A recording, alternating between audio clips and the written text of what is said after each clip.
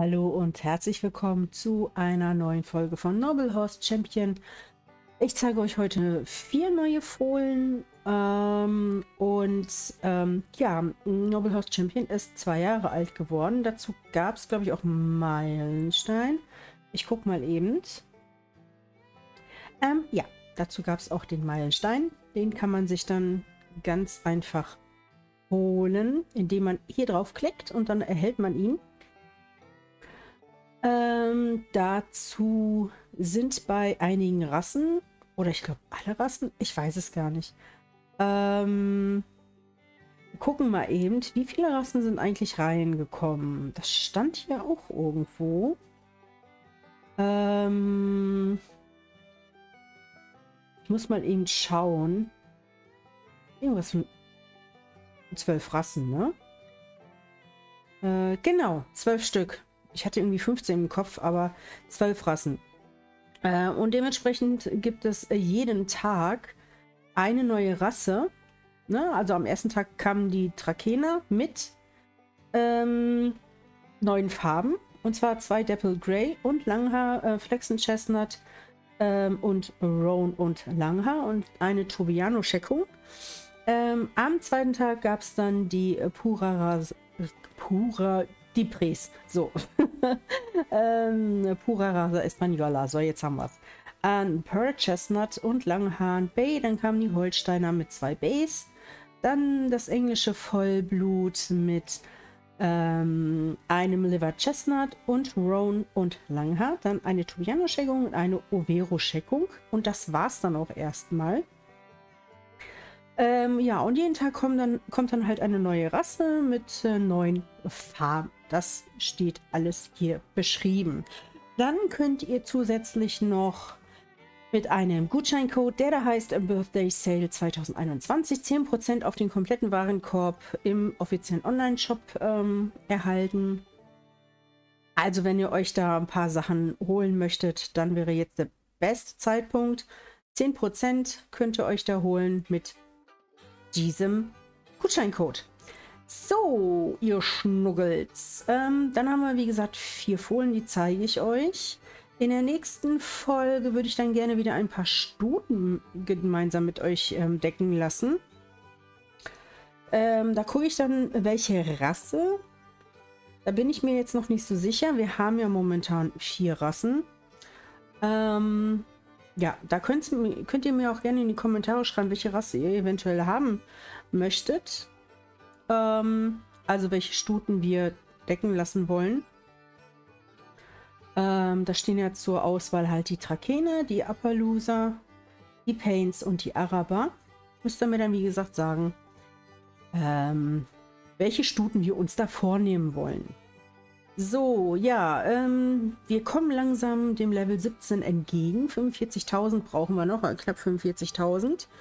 Ähm, da wird sich aber ähm, ja leider so überhaupt nichts ändern. Wo habe ich das denn jetzt schon wieder gehabt? Äh, wartet mal. Profil. Nein. Nicht denn. Ähm, wartet mal. Allgemeines. Level. Da. Irgendwann finde ich es nochmal schneller. Ja, wie gesagt, es wird sich halt nichts ändern, außer halt das Boxenlimit. Das ist auf jeden Fall schon mal sehr gut, ähm, dass wir dann fünf mehr bekommen.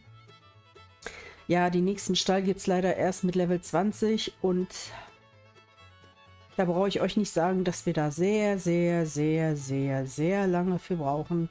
Ich glaube, da können wir nochmal zwei Jahre draufknallen. ähm, ja, so ist das halt. Es dauert halt alles ein bisschen. Ähm, Ach so, ich wollte generell noch mal irgendwie... Nein, wo bin ich denn? Ah, ich bin so ein bisschen verplant. Ähm... Nein, da wollte ich eigentlich überhaupt gar nicht hin. Wo war ich denn gerade? Aber bin ich denn heute irgendwie ein bisschen Banani? Ja, bin ich. Ähm, Erfolg wollte ich gerne mal gucken. Job ausgeübt. Okay, okay, okay. Aha, aha, aha. Okay, okay, okay. Ach so, das ist da. Ja, gut. Okay. Gut. Ähm, Ich wollte was Bestimmtes gucken, habe ich jetzt gerade nicht gefunden. Ist aber jetzt auch nicht schlimm. So, tut jetzt auch nichts zur Sache. Ich wollte nur was nachgucken.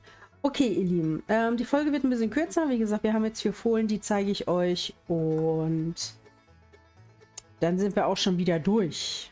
Ähm, ja, Malik haben wir bekommen. Ein ähm, Trakehner-Hengstchen, der ist hier. Der hat äh, Charakter 703. 315, leider nicht so viel, Dressur 19 und ist ein normaler Chestnut. Wobei, naja, ja doch eigentlich schon, ne? Ja doch. Doch. Auf jeden Fall steht da stets, dass er ein Chestnut ist. Naja, ist er ja auch auf jeden Fall. Ich habe gedacht, er hätte noch eine Scheckung, aber hat er nicht. Ähm, ach so, was ich mal gucken wollte. Ähm. Okay. Ich finde diese kurzen Mähen finde ich irgendwie, also das würde ich eventuell noch, ähm, ja, aber da bin ich jetzt nicht so für, für die, für die kurzen Dinger. Eigentlich hätte ich das auch noch gerne ein bisschen länger hier. Ein bisschen, ein bisschen. Nicht viel, aber ein bisschen. Das ist mir als Mähne immer noch zu kurz. Ich mag das, diese Wallemähne so irgendwie. Aber ja gut, kann man halt nichts machen. Ja, also, ich äh, rede mich heute um Kopf und Kragen, ich merke das schon. Ähm, ja, das sind seine Werte leider halt im Exterieur, wie gesagt, nicht so schön. Ah, naja, aber Charakter hat er wenigstens 703, das ist ja schon mal ganz ordentlich. Dann haben wir Dolores. Dolores ist hier oben. Die hat 741 im Charakter. Leider nur eine 283 im Exterieur, weil ich hier beim, ähm, ja, beim Vater darauf geachtet hatte, dass der gut im Charakter ist. Äh, es, ist geht meistens dann immer nach hinten los, ne? Man hat selten, ähm, man hat selten beide Werte richtig gut. Deswegen muss man sich dann halt immer für eins entscheiden. Und ähm, ja, gut, es war dann in dem Falle der Charakter gewesen mit 741. Aber ist ja auch nicht so schlecht. Mm, ja, wie ihr seht, die beiden sind über 700. Leider im Exterieur unter 300, wobei die unter 700, das ist, ähm, ja, ist nicht so ganz einfach. So, dann kommen wir zu den zwei Appaloosa-Fohlen. Ähm, das ist Big Spotted Prince. Da ist er. Big Spotted Prince hat 144, 138. Also im Gegensatz zu den anderen, das wird ja noch ein bisschen höher, wenn ich mal, dann kommt er so in diesen Bereich hier. Ja. Ist einer mit der schlechteren Hengste, leider. 138 ist dafür wieder super. Äh, Western 15, ja, so, so im Mittelfeld halt. Und er ist ein Dapple Gray Spotted Blanket. Wie gesagt, vielleicht, ähm, ne, ich glaube, die Appaloosa-Stuten sind momentan gedeckt. Entschuldigung. Ähm, Big Princess nicht, aber die wollte ich auch verkaufen. Big Princess wird verkauft. Cream de la Cream wird verkauft und Little Talks wird verkauft. Ähm, das ist diese wunderhübsche Stute hier. Die geht auch raus. Mm. Da haben wir ähm, das Stutfohlen Talk to Each Other. Die haben wir hier. Die hat 190, 120. Ja. Ist dann 16 und sie ist ein Chestnut Spotted Blanket, also wie ihre Mama. Ähm, wie gesagt, die meisten Appaloosa-Stuten sind, glaube ich, gedeckt. Ähm, müsste ich noch mal eben gucken. Moment, Appaloosa sind hier. Dann nehmen wir die kleine Maus mal raus. So, dann gucken wir mal. Vorausgesetzt, mein Internet bricht nicht wieder zusammen. so auch alles ein bisschen irgendwie so Boah, wenn man hier so runterscrollt manchmal, gerade am Anfang, dann ist das echt nicht so flüssig wie, wie früher immer. Ähm, Appaloosa, genau. Thunder in London, Calypso Cream. Ja, die sind alle noch nicht so weit. Die sind zwar jetzt erwachsen geworden, aber die sind halt noch nicht so weit, dass man sie decken lassen könnte. Hm, müssen wir mal schauen, wie es nächste Woche aussieht. Ähm, ja, wie gesagt, das liegt ähm, bei euch, welche Rasse, welche Stuten ähm, ihr dann decken lassen wollen. Wie gesagt, die Trakehner. Ähm, das sind, glaube ich, gerade zwei Stuten gedeckt. Appaloosa, wie gesagt, da sind einige halt noch keine drei Jahre alt. Ähm, Im besten Falle Paints, wo ich auch am meisten Special-Farben irgendwie habe. Ähm, und die Araber. So, jetzt wollte ich noch mal eben... Was ist das denn so ruckelig hier die immer? Das ist echt... Also momentan ist das irgendwie, ich weiß auch nicht, ein bisschen nervig. Ähm, Trakehner.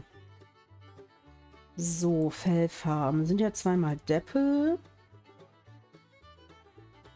Zweimal Deppel. Hier ist einmal ein Deppel.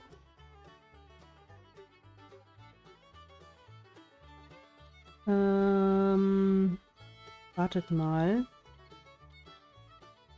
Mach das mal so. Gucken wir noch mal. Also, zwei Deppel Grace plus Langhaar. Flexen Chestnut und ein Flexen Chestnut Roan und ein Tobiano Schecko. Ähm, ein Deppel Grey habe ich jetzt gefunden. Ein Chocolate Palomino. Das wäre natürlich auch cool, ne? So, was haben wir hier? Gott, Leute, das kann man sich doch alles gar nicht merken. Ähm, Flexen Chestnut und Roan. Oh mein Gott. Hier ist noch ein Depp. Ah, ich glaube, das sind die beiden Dapple Grays, ne? Ja, ich glaube schon. Ja, ein Chocolate Palomino Roan. Das, ist, das sieht natürlich auch sehr geil aus. Flexen Chestnut Roan, auch sehr hübsch. Ja, Flexen Chestnut, Flexen Chestnut, genau, und eine Tobiano Scheckung. Gut, da weiß ich jetzt natürlich nicht welche. Es sind ja so wenige Tobianos. Ähm, keine Ahnung, welche da jetzt neu. Wahrscheinlich die hier, ne? Ich weiß es jetzt gar nicht. Schätze ich mal auf jeden Fall. Genau. So, okay dann habe ich euch das auch gezeigt und damit würde ich das Video auch schon wieder beenden. Ich bin nämlich auch ein bisschen unter Zeitdruck, weil ich in einer Stunde schon wieder weg muss und ich muss noch Rival Stars Horse Racing aufnehmen im Anschluss. Ähm, ich hoffe, euch hat das Video trotzdem gefallen. Lasst mir doch gerne einen Kommentar da. Ähm, wie gesagt, auch zu der Frage mit den Stuten, welche gedeckt werden sollen. In der nächsten Folge ähm, wäre schön, wenn ihr mir da ein bisschen Feedback geben würdet. Würde mich sehr freuen. Danke. Und ähm, ja, lasst dem Video gerne ein Like da. Abonniert den Kanal, wenn es euch gefallen sollte. Und dann sehen wir uns in der nächsten Folge. Macht's gut, ihr Lieben. Ciao, ciao.